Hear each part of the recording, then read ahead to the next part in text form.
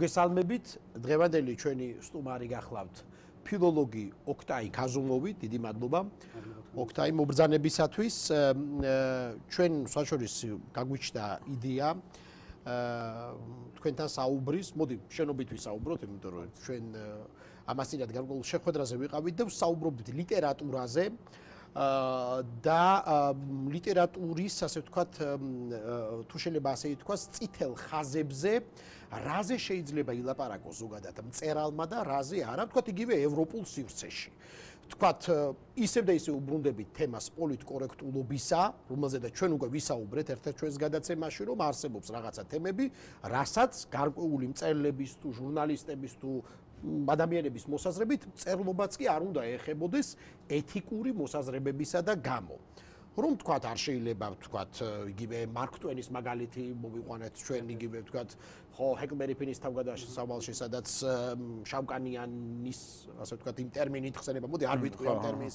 ასევე ვთქვათ შაილოკი შექსპირის ვენეციელ ვაჟარში ანტისემიტური მონოლოგებისა და მისდამი ასე ვთქვათ ანტისემიტური გამოხტობების გამო და სხვადასხვა და უელბეკი მიშელ უელბეკი რომელზედაც ჩვენ დავიწყეთ საუბარი და მიშელ უელბეკისადმი დამოკიდებულებაზე ვთქვათ ევროპაში მცხოვრები არამხოლოდ ისლამური თემებისგან არამედ სხვებისგანაც რატომ? იმიტომ რომ ცნობილი ამბავი უელბეკისა ჯერ ერთი ეს ბოლო მისი რომანი მორჩილება რომელიც სწორედაც რომ რაღაც გარკვეულ შიშებზია ფრანგული საზოგადოების შეიძლება ევროპული საზოგადოების ჩვენი ჩანს რომ თქვა ასეთი ანტიუტოპიური რომანია და ისლამისტი ხდება პრეზიდენტი საფრანგეთისა ოღონდ ისიც კიდე რაღაცა ძანუსტაური მოდელია და თავარი ამბავი. თავარი ამბავი რაზე ჩვენ დავიწყეთ საუბარი და რითიც მინდა ახლა რომ დავიწყოთ ასევე როდესაც თქვა უელბეკმა ასეთი რამ რომ თუ არსები ელემენტარული ნაწილაკების მისი პირველი რომანის გამოცემას მოხვა ესა, როცა თქვა რომ ისლამიზმი მეშინია და საერთოდ წავ წავიკითხე ყურანი, მე მივხვდი რომ ვერაფერი ვერ გავიგე და ისლამი უელბექს ციტირებ ისლამი იდიოტობა. ასეთი რაღაცა თქვა. თუ აღშფოთდა ძალიან ბევრი, აღშფოთდნენ მისი კოლეგებიც, არა მხოლოდ მუსულმანებიც, მე მუსლიმები უფრო მუსლიმები უფრო სწორად, თქვა იგივე მიშელ ტურნიე, მისი კოლეგაც გარდაცვლილი სოჭოს დაუწერა დიდი სტატიაც მიშელ უელბეკ, სადაც ბრალი დაძდო ეპატაჟში, ძალიან ბანალურ და პრიმიტიულ ასე თქვა წამქეზებლობაში და ასე შემდეგ და ასე შემდეგ. აა ამ შემთხვევაში ჩვენი საუბარი დავიწყეთ ამით რომ რამდენად საინტერესო როგორ უყურებენ აი ასეთ გამოხტომას?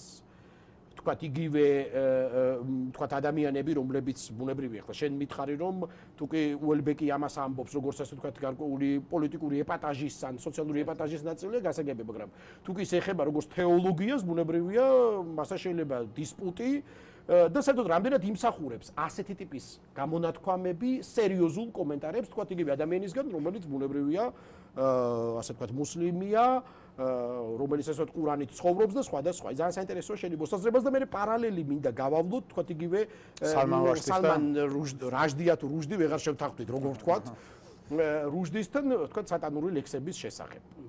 დიდი მადლობა პირველ ყოვლისა ჩემს ცნობილი ჩვენი საზოგადოების ცნობილ პიროვნებასთან ერთად ყოფნა ამ დიდებულ სივრცეში და გარემოში.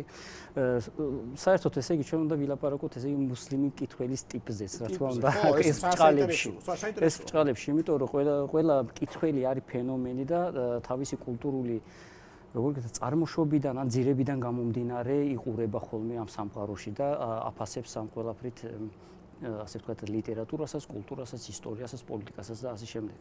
თვითონ ეპატაჟურობაზე რომ მიდგეს საქმე, ეს ეპატაჟურობაც ღირებული იყოს. მაგალითად, მიშელ უელბეკის ეპატაჟურობა რომ იყოს ლიტერატურული ეპატაჟურობა და არა პოლიტიკური ან თუ გნება ვთქვათ თეოლოგიური სარწმუნოებრივი, რა თქმა უნდა, მაგას ეხლა პოლიტიკურზე ვერ ვილაპარაკებთ, რადგან მუსლიმები მიიჩნევენ რომ სწორედ პოლიტიკური ეპატაჟურობა აზდებს მის ამ გამონათქვამს და თეოლოგიურზე ნუ დისპუტები არ გამართულა ამ ამასთან დაკავშირებით. ამიტომაც აღიზიანებთ მიშელ უელბეკის ეს გამონათქვამების საერთოდ მისი რომანებიც და თვითონ ზოგადად მიშელ უელბეკიც. თუმცა სასიხარულო გახლავთ დიახ. ანუ ჩვენ ვილაპარაკეთ მაშინ მახსოვს ესე იგი ფარისევლობას ამხელს და სხვათა შორის რითი იზიდავს მიშელ უელბეკი აი სწორედ ესე იგი ასე ღიაობით. ნებისმიერი თითქმის მოხსნილია მასთან დეკოდირების მომენტები. არის ღიად ცალსახად, ესე იგი ნათქვამი ეს ასეა, ეს ისეა. რა თქმა უნდა, მწერალი ვერ ვერ გაექცევა გარკვეულ, როგორ გითხრათ, ესე იგი შელამაზებას თუ დამახინჯებას რეალობის, იმიტომ რომ ის ქმნის სხვა რეალობას, სხვა სამყაროს და როგორც ესე იგი შექმნის პროცესში მას უამრავი რამ სჭირდება, გადამეტებაც, გადმომეტებაც და ასე შემდეგ. მაგრამ როდესაც ესე იგი მას აქვს პრეტენზია, რომ ის ღაღადებს ჭეშმარიტებას, თვითონ ესე იგი მაშინ ჩნდება ეჭვი ვთქვათ ლიტერატურა რომელიც როგორც არც ფილოსოფია და არც ისტორია არისტოტელეს განსაზღვრებით რამდენად არის ჭეშმარიტების მქადაგებლის როლში. თვითონ ხომ? ამას ამბობს რომ მე ამას იმიტომ ვამბობ ასეთ ამამად რომ მე არ ვიქნები თვალთმაქცი თუ მე გამოვხატავ რაღაც გარკვეული ჯგუფების საზოგადოებრივი ჯგუფების დამოკიდებულებებს და შიშებს. ან თუნდაც საკუთარს. ხო ან თუნდაც საკუთარს. ან თუნდაც საკუთარს დიახ წერალს აქვს უფლება ნებისმიერ შემთხვევაში ამის თქმისა. ყოველ შემთხვევაში მუსლიმური სამყარო მივიდა იმ აზრამდე და დასკვნამდე რომ ამის გამო კულტურულ ჩარჩოებში უნდა გამოუცხადოს როგორ გითხრათ პროტესტი. გამომდინარე ამას ქონდა რა თქმა უნდა სალმან რუშისთან შეხების მომენტი. ეს საინტერესო ფენომენი გახლავთ. თავიდან მე როგორც ჩავხედე ისტორიას ფატვა კი გამოსცეს მისი მოკვდინება მის მოკვდინებასთან დაკავშირებით მაგრამ მე ეს უკან წაიღეს ეს ფატვა ნუ ჩაითვალა რომ ესე იგი ის წერალია დიახ. და თვითონ ესე იგი ისლამშიც აქვს ამას რაღაცნაირად ერთი საფუძველი გარდა იმისა რომ თქვა მუსლიმურ ანუ ღვთისმეტყველთან დაკავშირებით წინასწარმეტყველთან დაკავშირებით იყო რამდენიმე აია მიიჩნია ეს ეშმაკეულა თვითონ უარყო.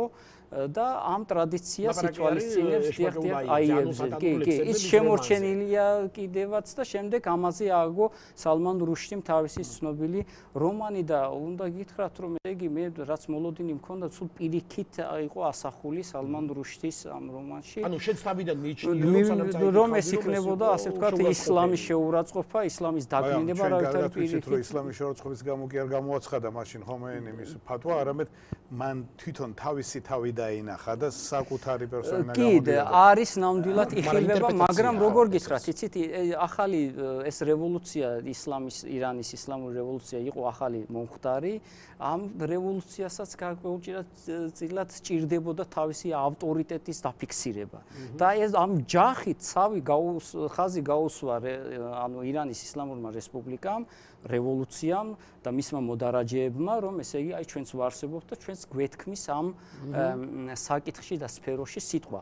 მაგრამ გამომდინარე იქიდან, რომ ირანი არის დიდი კულტურის ქვეყანა და დიდი ტრადიციების, მალე მიხვდნენ და ალბათ წაიკითხეს, ну, ელდა ეცემოდათ, რა თქმა უნდა, იმ თავითვე, თავდაპირველად, მაგრამ რომ გაეცნენ, უკვე მიხვდნენ, რომ არც მთლად ასე ყოფილა საქმე, თუმცა სამწუხაროდ ამან ვერ ვერ ეს ვერ აზღვევს სალმან რუშტის სიცოცხლის უსაფრთხოებას შეიძლება ვთქვათ გამომთარგმნელების ზოგიერთი ვერც მთარგმნელების სამწუხაროა მაგრამ თვითონ მოვლენა რელიგიური სახეების სახეხატების გარდატეხისა ლიტერატურაში ეს არ არის ჩეულებრივი რამ. ეს არის რაღაც მე ვიტყოდი დიდებული ციმ თვალსაზრისით რომ თანამედროვე სამყარო რომელიც ამ ტექნოკრატიული თუ გნებავ ტექნოლოგიური ბუმის შემდეგ რაღაც ერთგვარ სულიერ კრიზისს განიცდის აი მწერლებმა იპოვეს საშუალება რომ ეს რელიგიური თემები სახეხატები პიროვნებები წამოეწიათ თანამედროვე სამყაროში ოღონდ თანამედრო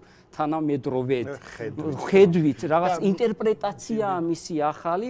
თქვა ჟოზე სარამაგოს იესოს სახარება ჩვენ ვიცით რომ ესე იგი ძალიან ბევრი სახარება არსებობს იქიდან კანონიკურად არის 4 თავი მიჩნეული და ისიც ქმნის რაღაცნაირად პარალელურად ვერსიას. კი და ანუ აპოკრიფს კი და საინტერესოა იცით იქ მე ვიყოდი აღმატებულია სიყვარულით არის აღწერილი ეს ყველაფერი იესოს სახე. რაც შეეხება თქვათ მუსლიმურ ტრადიციას ყურანში თავიდან აძაგებს ყურანი ესე იგი პოეტებს. რატომ? იმიტომ რომ როდესაც დაიწყო ქადაგება და ყურანის გადმოცემა მისი აიების წინასწარმეტყველმა, ხალხმა თქვა რომ კი ბატონო ის ლაპარაკობს უცნაურს, მაგრამ ის პოეტია. და პოეტს აქვს უფლება, ეს არის წინა ისლამური არაბული პერიოდი, თქვას ის რაც მას სურს. ძალიან დიდი ავტორიტეტი ჰქონდა პოეტს, როგორც ტომის თვალსაზრისით, ასევე წინარე ისლამურ არაბულ საზოგადოებაში. იმართებოდა ფესტივალები და ქააბას იმაზე გამარჯვებულებს აკრავდნენ ქააბას კედელზე. და ეს მიიჩნიეს, იმიტომ რომ ყურანი ლიტერატურული თვალსაზრისით ძალიან ამაღლებულია, ის გარითმული ესე იგი პოეტური პროზით არის დაწერილი, საჯიქვია ამას და უნდათ რომ ამით მიეჩქმალათ და ნუ მუჰამადმა გაემიჯნა ამას, მუჰამადი ნუ ღმერთმა გამიჯნა ეს თქვა რომ პოეტები ის იმას ჩვენ პოეტს ვერ ვუწოდებთ, იმიტომ რომ პოეტები იმას ისე არ ცხოვრობენ, როგორც ლექსებში თვითონ წარმოგუსახავთ. ანუ არიან ფარისევლები და მატყუარები. ეს ცნობილის არის, მაგრამ როდესაც უკვე ისლამი დამკვიდრდა და რამდენიმე პოეტმა მიიღო ისლამი და დაიწყო იდეოლოგიის ქადაგება, ისლამი ეს პოეტები უკან თავის წიაღში დააბრუნა, რა თქმა უნდა, ზოგიერთი გარიყეს, ზოგიერთმა საერთოდ უარყო. აი ეს ფაქტი დღემდე მოძდევს, რომ ლიტერატურა რა რა ფუნქცია აქვს და ციხთელი ხაზების აი მე ვფიქრობ რომ ყველა ეპოქას აქვს თავისი დაკვეთე ერთგვარი და ადგენს უნებლიეთ რაღაც საზღურებს და ხაზებს.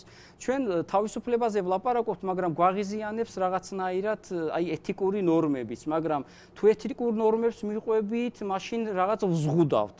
ეს შეზღუდვა არ იყოს არ უნდა იყოს. მე ვფიქრობ თვითონ დრო გაცხრილავს თქვათ იმ პირობითი წითელი ხაზების დამრღვევი მართლა არ ღვევდა ამას და მიზანი ეს ქონდა რომ მხოლოდ უნდა დაერღვია თუ შემოერღვია ეს ხაზები, მაგრამ შექმნა ნამდვილად ზედროული და ღირებული რა მონა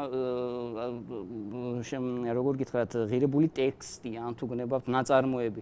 და ამას ვამბობ მე კაცობრიობის გამოცდილებიდან და ისტორიიდან გამომდინარე რომ კნინყოფილი და უარყოფილი ანათემას გადაცემული ბევრი რამ ნაწარმოებით შემოbrunებულა და დღეს სხვათა შორის ის ინსტიტუციის წარმომადგენლები ვინც აკნინებდნენ და ასე ვთქვათ უამრავ ფეტვას თუ იმას რა ქვია გამოსცემდნენ დეკრეტს მის წინააღმდეგ დღეს ისინი აღიარებენ რომ არა ჩვენ ვწდებით ვწებოდით ეს მართლაც ღირებული და სულიერი თვალსაზრისით ამაღლებული რამ გახლავთ ამიტომაც მე ძალიან გამიხარდა როდესაც კარდინალმა მგონი პორტუგალიის ჯოზე სარამაგოს რომანზე თქვა რომ ნებისმიერი გონიერი მოწმუნე ადამიანისთვის ეს ნამდვილად შეიცავს ამაღლებულ მომენტებს და განცდებს.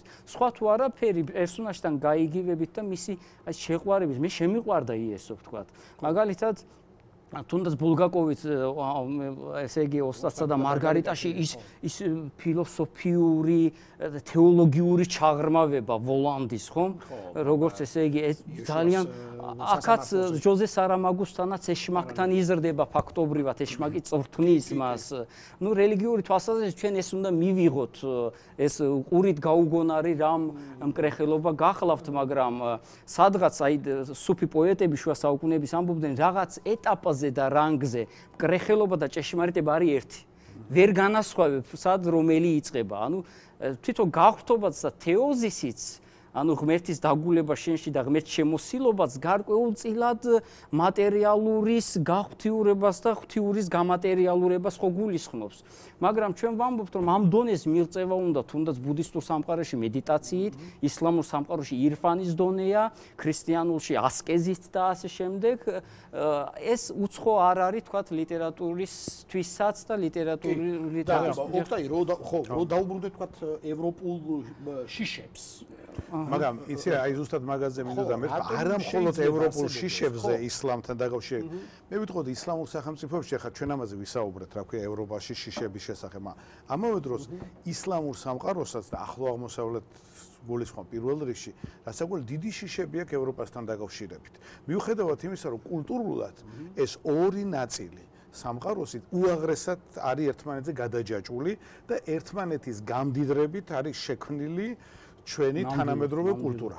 როგორც აქვე აღმოსავლეთიდან აიღო ძალიან ბევრი ევროპამ, ასევე ევროპისგან აიღო ახლო აღმოსავლეთმა ძალიან ბევრი. ახლო აღმოსავლეთ რომ ამბობ ხოლმე და არა აზიას, იმას გულისხმობ ხა სადღაც სადღაც შორეული აღმოსავლეთი, ჩინეთი, ინდოეთი კიდე სულ სხვა ამბავია, ხო? კულტურული ერთეულები, თვითმყოფადი კულტურული ერთეულები არის. აქ არის ერთ მე ვიტყოდი ჩინეთს იაპონიაზე გავლენა ქონდა. ნუ ის არის, რა ქვია, ერთი საფუძველი არის ახლო აღმოსავლური და ევროპული კულტურისა მე ვიტყოდი.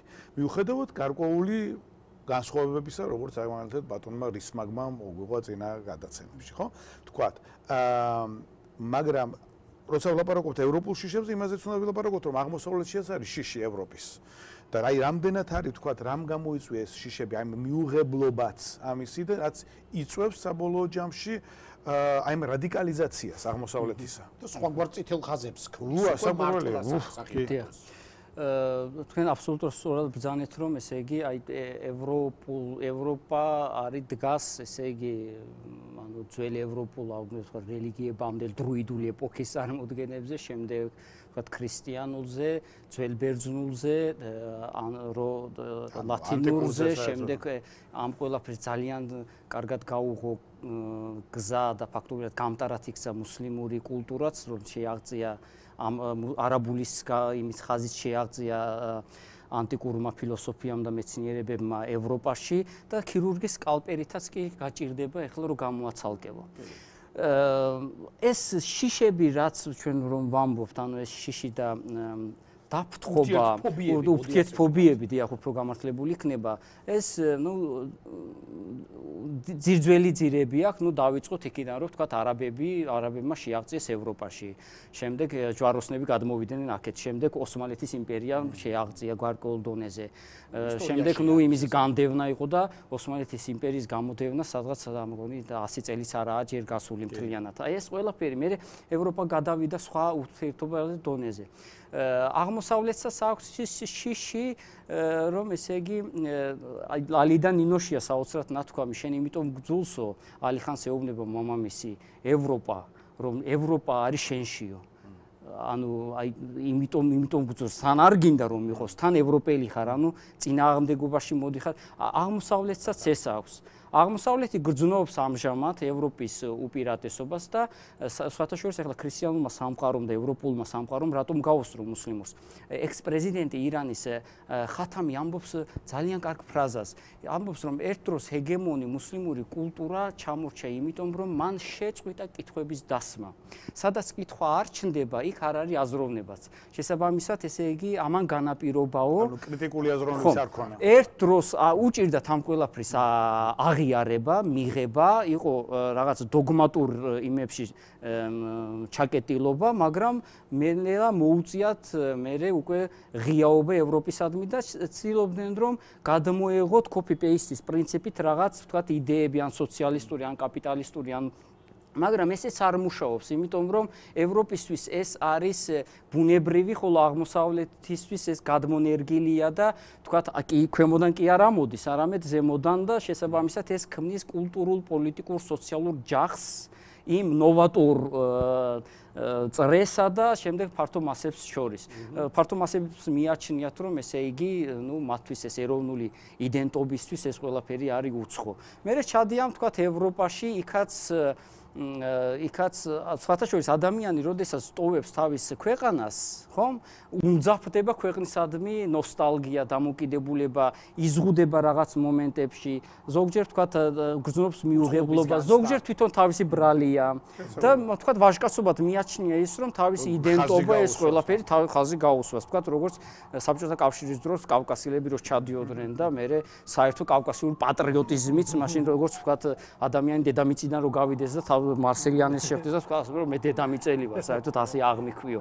ზუსტად აი ეს მომენტებია და მე გამონათლებლობის პრინციპით თვითონ უწოდინრობა. უნდა გითხრათ რომ კითხვებიო რომ არ დაისვაო, გულისხმობს იმას რომ კითხვები არ დაისვა პირველ რიგში ყურანის მიმართ. ანუ ყურანი რომელიც ხადაგებს იმას რომ ესე იგი თქვენ გადმოგეგზავნათ ეს ციგნი იმისათვის რათა გონებრივად განსაჯოთ ანუ ეგება იფიქროთ და აი ეს ფიქრი მოაცილა ისლამურმა სამყარომ ყურანი მიიღო როგორც ასე ვთქვათ, თქვა დოგმა და ტაბუთ უნდა ირწმუნო და მორჩა. კი არ უნდა იაზროვნო, კი არ უნდა იფიქრო და ლიტერატურის მეშვეობით ხდება სალმან რუშტიგნებავ და პირველად სხვათა შორის დაიწყო ნაჯიბ მაჰფუზმა ჩვენი უბნის შვილებით, რომელმაც მისცა ბიძგი სალმან რუშტის შემდეგ, სალმან რუშტი არ ყოფილა პირველი. ნაჯიბ მაჰფუზმა დაიწყო ჩვენს თანამედროვეობაში იგივე პარადიგმების, დიახ, იგივე ნიმუშების მოცემა, რომ დღესაც კი გრძელდება ეს ყველაფერი და დასახარო მეცნიერებამ. კი მოკლა ღმერთი, აქ უკვე ნიცშე შემოდის და მეცნიერებამაც უნდა გააცოცხლოს ასე ვთქვათ ღმერთი მეცნიერების ვალია ეს ყველაფერი. და შემდეგ სალმან რუშტი ამას ძალიან ოსტატურად, ჯადოსნურად მე რომ კითხულობდი პარალელები რაღაც ჩნდებოდა ბულგაკოვთანაც ეს დანაშრები ჩანს, იმიტომ რომ იქ ვთქვათ ბულგაკოვთან კუროთ თუ რაღაცა იქცევა ვთქვათ კურატად უფრო სწორად მეტაფრინავს ეს ყველაფერი, აქ ვაცად იქცევა, იმას თავი ჯაბრაილი გონია, მთავარ ანგელოზი და მე აქ არა მიშელ უელბეკზე არანაკლებ წვავე დგას ვთქვათ ევროპის საკითხი, საინტერესოა ვთქვათ ის ინდოელი ადამიანი პანსიონატის მფლობელი თუ სასტუმროსი, რომელიც ლათინური ანდაზებით და საერთოდ ლათინური ვერბებით ლაპარაკობს ამ ყველაფერს და კი, კი, კი, და მე ტრაგიკულად კი სრულდება იმ ადამიანის ცხოვრება სამწუხაროდ, მაგრამ აი მთელი ეს ცერემონია სანამ დაეშვებიან ზემოდან და მე მე ისევ აღზევდებიან, ნუ ჯაბრაილ ფარიშტა ამას ვერ გადაიტანს ფსიქოლოგიურად, მაგრამ სამაგიეროდ ჩამჩა და რომელიც ჩამჩავალა იყო პოუებს თავს იმაში რომ ისე დაუბრუნდება თავის ფესვებს.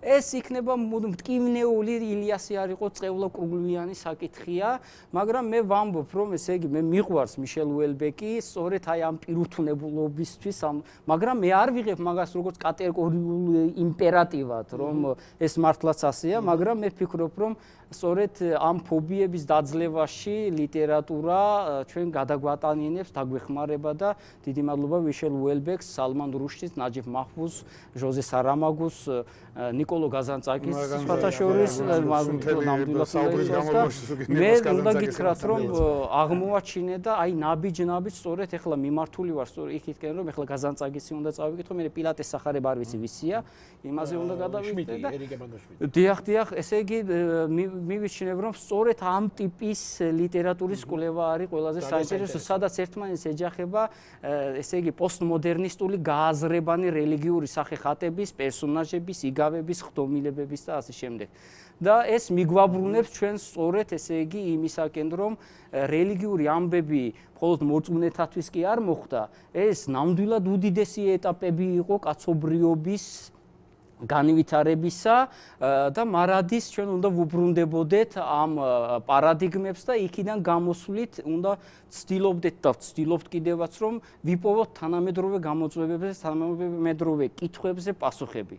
და ამას ახლა და დავსვათ აუცილებლად, იმიტომ რომ შეკითხების გარეშე ნამდვილად ჩვენ გავფანატიკოსდებით და ეს კიდევ ჩვენ საწინააღმდეგო იმუშავებს ისე. ბოლო კითხვა რომელიც მინდა დამესვა ფაქტობრივად უპასუხა ოპტაიმ, ეს არის სწორედ ის რომ აი რას მისცემს თუნდაც საქვია საქართველოს უფრო მეტად იყოს ინტეგრირებული ევროპაში ჩვენს მეზობელ ქვეყნებსაც და მე მგონია ეს სწორედ ეს კითხვის დასმის ევროპული აა ტრადიცია და მნიშვნელობა ევროპისათვის ეს იქნება ერთ-ერთი უნიშნულოვანესი გადამწყვეტი საკითხი. თუ მუდმივად ყოველ ეტაპზე კაცობრიობის განვითარებაში კრიტიკულად არ განვიეთ ჩვენი წარსული, წინსვლა შეუძლებელი იქნება. ნამდვილად, მე ამ შემთხვევაში ევროპა მიმაჩნია უალტერნატივოდ. ოღონდ ევროპასთან და ევროპამაც ჩვენთან უნდა ითანამშრომლოს და არა ვთქვათ ეს ვთქვათ მეტოქეობის პრინციპი კი არა, კულტურული თანასწორობის იდეა. და საქართველოს ქონდა ასეთი განცდა ბერძნულთან, სპარსულთან, ვთქვათ მიმართებაში, ხო, მაჩანჩალაკი არ უნდა და ყოფილიყო. არამედ თანასწორი კულტურულად და ჰაგიოგრაფიაში, თუგნებავ საერო ლიტერატურაში ამაზე ხაზგასმა ყოველთვის იყო და არსებობდა. განსაკუთრებულობა მე თუ კაცი მკითხავს, სწორედ შესაძლებელია საინტერესოც ევროპისათვის ის არის, რომ აქ ძალიან ძლიერი არის როგორც ევროპული, ასევე აზიური ან ახლო აღმოსავლური ფესვები. და მწვერვალი არის ვეფხისტყაოსანი, რომელიც თავის თავში ითავსებს ყველა ამ ისრუტავს ამ ესე იგი კულტურულ დანაშრევებს, მონაპოვრებს და არ არის მართალი, როდესაც ჩვენ ვთქვათ ან რომელიმე ერთ რელიგიაზე და კულტურაზე აპელირებით ვიკულებთ ხოლმე წინასწარ განზრახულად. რუსთაველი მსოფლიო რუსთაველი აუცილებლად მსოფლიო საგანძურია და მას უნდა იკულებდნენ აღმოსავლელი მუსლიმური სამყაროს მეცნიერებიც და ასე გახდება მისი საერთაშორისოობა უზრუნველყოფა. აბსოლუტურად გეთახმები. შესანიშნავი საუბრისი მადლობა. მადლობა თქვენ. მოგძლე ვერ იგეწოება ნამდვილად ასეთი განსხვავება. დიდი მადლობა ჩემთვის პატივია. დიდი მადლობა.